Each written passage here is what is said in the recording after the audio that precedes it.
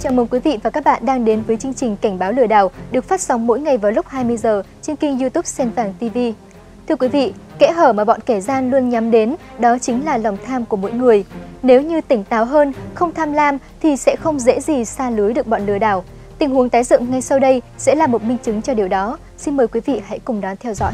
À, mình đi siêu thị điện máy để mua cái nồi ủ nha Sao trong nhà cũng nồi ủ giờ ra ngoài nhắc thêm nồi ủ nữa chi Mua chi tốn tiền? Anh làm như là em nấu cho hai ba người ăn gì đó. Với lại bây giờ anh nghĩ thử coi Ai mà nấu bằng than nữa. Rồi phải ngồi canh Rồi à, cạn nước là phải chăm nước nữa. Tốn nhiều thời gian lắm. Cuối tháng này tôi lãnh lương tôi mua cho được chưa? Trời ơi cô nương. Anh hứa rồi đấy nghe Biết rồi. Nói chuyện với vợ xong thì khoảng 2 tiếng sau, đột nhiên có nhân viên báo giao hàng điện máy. Nhưng cả hai vợ chồng không hề đặt hàng khiến anh chồng hết sức ngạc nhiên. Cái số điện thoại này không có đúng ủa ủa Số điện thoại này của ai á? Ừ ừ anh ơi em giao hàng tới ờ, ngay cái địa chỉ luôn anh. Mà cái số điện thoại anh cho á, không có phải. Dạ có có chủ nhà ở nhà luôn anh. Nghĩ người mua điền nhầm địa chỉ nên anh chồng cũng không lấy gì làm lạ. Trong lúc đó, đường xa trời nắng nên anh giao hàng xin vào nhà uống cốc nước trong lúc đợi trung tâm xử lý tình huống bất ngờ này. à, bây giờ anh lấy hai cái ờ, hàng này giùm em luôn ha. Sao được em? Trời ơi anh đâu có mua gì đâu tại vì ở bên ờ, của người ta đặt cọc hết 70% rồi. Ừ. bây giờ anh chỉ cần thanh toán cho em 30% thôi. Hai triệu rưỡi đó anh sẽ được một cái lò nướng với một cái nồi ủ. Là nếu mà trong vòng 12 tiếng khách mà không ờ, đã đặt cọc rồi á mà không nhận hàng thì ờ, tự động bên công ty của em là hủy đơn hàng đó.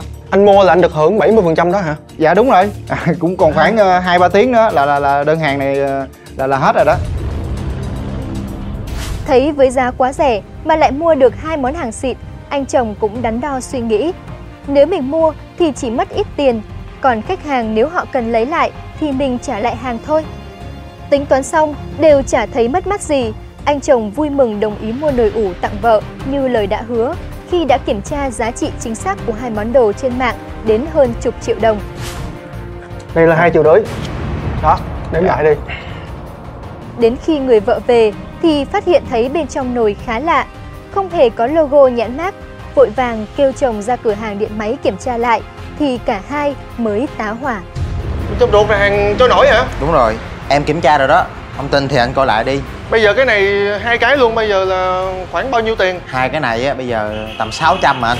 Trời Mà ơi. không ai dám mua đâu Mà cái hàng này mua về nguy hiểm lắm.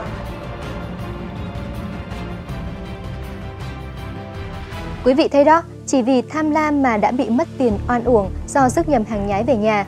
Đối với các sản phẩm điện máy thì chúng tôi khuyên rằng quý vị nên đến các trung tâm có uy tín để lựa chọn mua sắm, vừa đảm bảo an toàn lại có chế độ bảo hành phù hợp. Đừng tham lam của rẻ, nếu như tỉnh táo hơn, không vì cái lợi trước mắt thì chúng ta sẽ không dễ gì bị xa lưới bọn lừa đảo như thế đúng không quý vị? Nên nhớ rằng tiền nào của đó và lợi lộc trên trời không dễ gì rơi xuống một cách trùng hợp đến như vậy. Mong rằng quý vị hãy hết sức tỉnh táo nhé. Đến đây thì thời lượng phát sóng của chương trình cũng đã hết. Cảm ơn quý vị đã quan tâm theo dõi. Hẹn gặp lại vào lúc 20 giờ ngày mai trên kênh YouTube Sen Vàng TV với số cảnh báo lừa đảo tiếp theo.